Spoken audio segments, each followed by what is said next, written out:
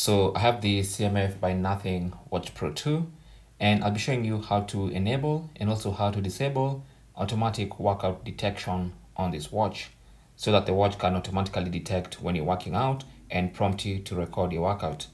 So just press on the crown once to go to the main menu and then scroll to settings all the way to the bottom. So tap on settings.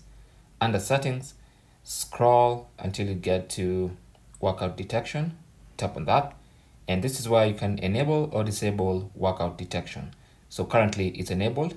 You can see this toggle switch is on. You can tap on it and that's going to turn it off.